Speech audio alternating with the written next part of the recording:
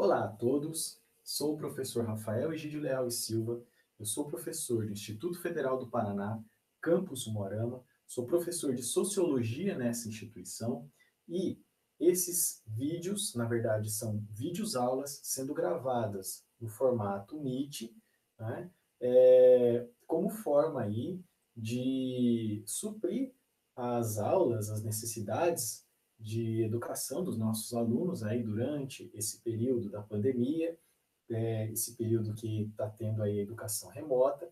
Então, eu vou gravar essas aulas de sociologia, disponibilizar de forma pública através do YouTube, justamente para facilitar o acesso aí aos meus alunos e também a outros que tenham interesse aí na aula de sociologia, ok? Então, assim, gente, Nesse vídeo aqui, nós vamos falar, ainda que brevemente, um assunto que é importante é, que vocês entendam sobre o que, que é essa tal sociologia no ensino médio. E também aí expor para vocês né, o que, do que compõe, quais são as ciências que vão compor esse, essa disciplina que está sendo ministrada no ensino médio.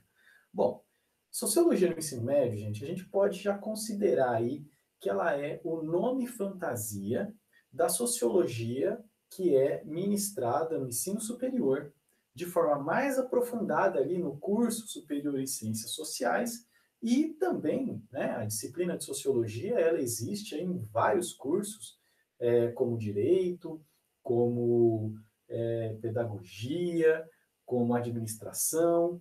Claro cada uma dando o seu devido enfoque né mas a disciplina de sociologia, ela é realmente é muito importante para a formação científica das pessoas e, claro, a compreensão da nossa sociedade, dos fenômenos sociais, das diversas manifestações culturais humanas. E eu estava falando para vocês que tem um curso, né, que é o curso superior em ciências sociais, que ele vai aprofundar é, o ensino de sociologia mas também de outras ciências que vão compor a sociologia no ensino médio. Só uma informação aqui, né? A, o curso de Ciências Sociais, ele existe nessas duas versões aí, a licenciatura e o bacharelado. Licenciatura, gente, é a formação do professor de ensino básico. Então, o professor que vai dar aula para o ensino médio, ele precisa passar por uma licenciatura. E Ciências Sociais e sociologia também, né? São cursos que têm essa possibilidade de, de formação, que é o licenciado. Mas ela também te dá a possibilidade do bacharelado, que é aquele que vai ter uma formação mais específica em pesquisa, que vai se focar tanto na pesquisa acadêmica quanto é, para serviços, né, para trabalho como sociólogo, tanto aí empresas como prestação de, de serviços, consultoria, né? Então, o curso de Ciências Sociais ele tem essas duas é, essas duas formas, né, de você de você ter o seu diploma. Ciências sociais, pessoal. Bom, o nome já está dizendo aí que são ciências, né? Então são várias ciências, né? E vocês já veem aí que nós temos a sociologia, a ciência política ou e a antropologia ou a etnologia. Tá, mas são apenas essas as ciências sociais? Claro que não. É, toda ciência, todo conjunto de conhecimentos metódicos, criteriosos, né, que tenham um olhar para a sociedade, como, por exemplo, a própria psicologia, é, a ciência do direito, né, a geografia humana, toda ciência que tem um olhar para a sociedade, é claro que ela vai ser uma ciência social. Mas o curso superior em ciências sociais, ele convencionalmente, ele abriga essas três ciências, tá? Que são as ciências que nós nos aprofundamos ao longo do curso e que os temas dessas três ciências, né, sociologia, ciência política e antropologia ou etnologia, os temas dessas três ciências serão adaptados, serão ali é, ministrados de alguma forma durante a disciplina de sociologia do ensino médio. Então, a disciplina de sociologia do, do ensino médio, pessoal, ela também vai aí contemplar conteúdos dessas outras duas ciências. Então, vamos começar falando rapidamente, né, só para um panorama geral, sobre o que é essa tal de sociologia, tá, gente? Ela é uma ciência que ela teve a sua constituição a partir do século XIX, né? A, a, a, o primeiro cara que deu esse nome, sociologia, foi um filósofo francês chamado Augusto Comte, criador de uma corrente filosófica chamada positivismo, né, da qual nós vamos ver como que funciona esse pensamento.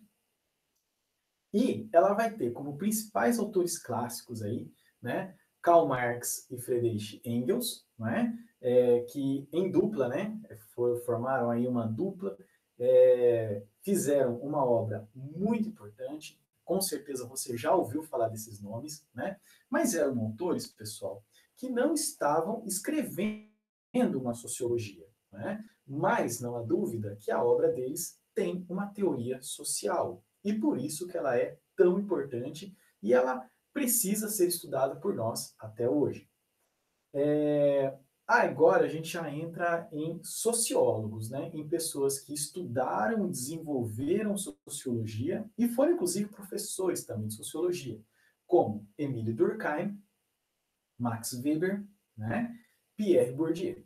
Tá? Claro, pessoal, esses são clássicos que a gente pode considerar, mas existem vários outros autores com obras que também são importantes para a ciência da sociologia. E a ciência, a ciência da sociologia, o que ela vai fazer? Ela vai estudar as diversas manifestações, fenômenos sociais, né, e processos de transformação social, mas também processos de reprodução social. Ou seja, transformação, aqueles processos que transformam a sociedade, né, como processos revolucionários, por exemplo, como também aqueles momentos que a sociedade busca, né, ela, ela coloca energia em se reproduzir a si mesma. Né? Outra ciência importante aí é a ciência política, que teve a sua constituição, pessoal, ali entre o século XIX e XX. E aqui é importante a gente sacar uma diferença da filosofia política. Que, claro, a filosofia política ela está aí, né, ela se perde nos tempos, ela vai começar lá na Grécia clássica, lá no século V a.C., lá em Atenas, né?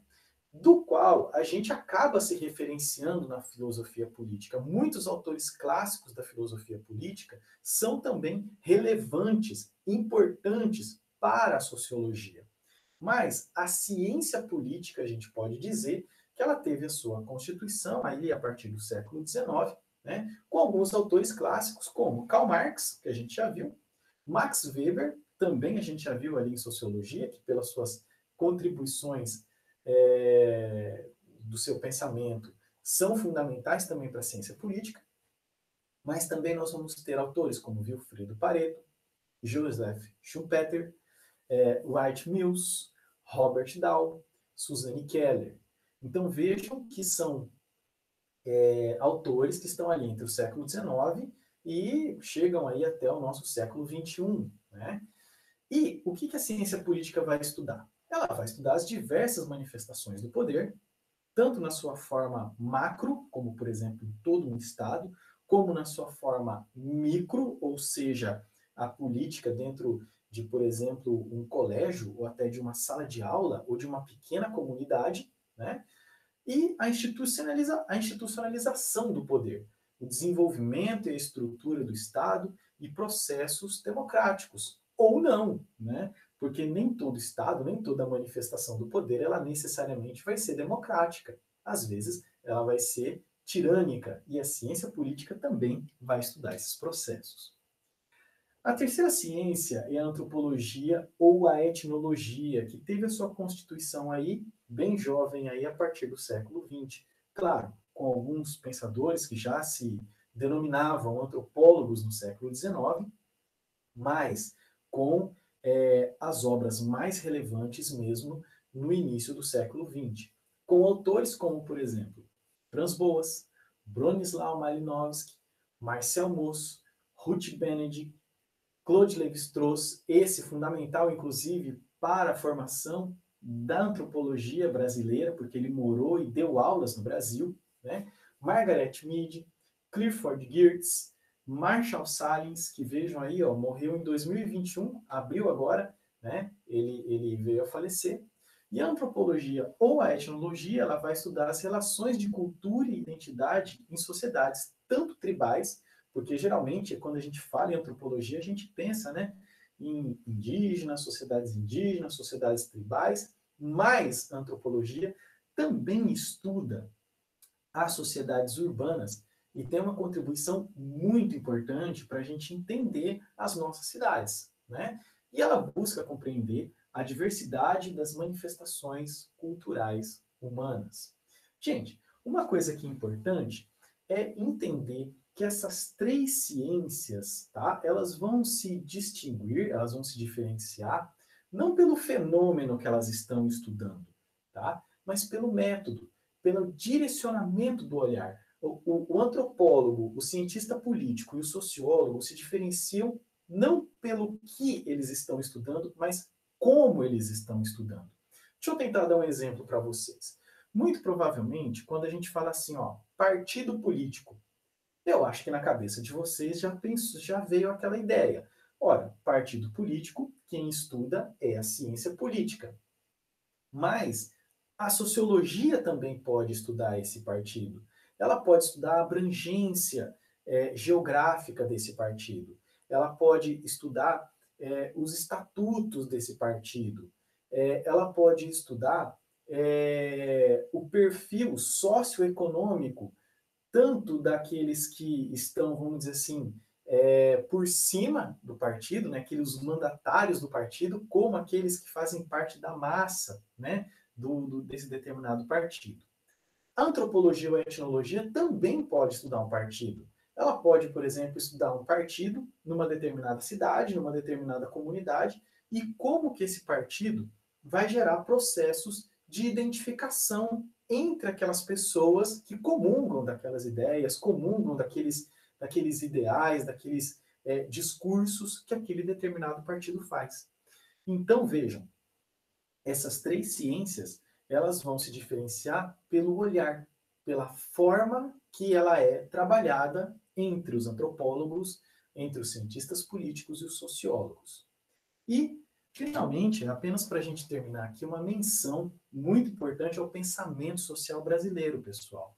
Porque a gente fala aí de, de sociologia, ciência política, é, antropologia, cita autores que são estrangeiros e parece que não tem um pensamento sociológico, antropológico ou politólogo aqui no Brasil. E tem.